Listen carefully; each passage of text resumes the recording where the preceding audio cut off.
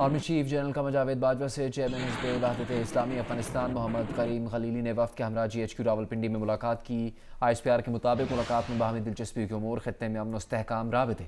और अफगान अमन अमल में पेशरफ पर तबादला ख्याल किया गया इस मौके पर army chief general Qamar Javed Bajwa ने कहा कि अफ़गानिस्तान में अमन का मतलब है पाकिस्तान में अमन। मुस्तकम खुशहाल अफ़गानिस्तान का हमसाया ममालिक और पाकिस्तान के मफाद में है। आई एस पी आर के मुताबिक मोजीन ने पाक अफगान ताल्लुक पर पाकिस्तान के मस्बत किरदार की तारीफ़ की। मेहमानों ने पाक अफगान ताल्लुक के मुस्तबिल पर आर्मी चीफ के विजन को सराहा।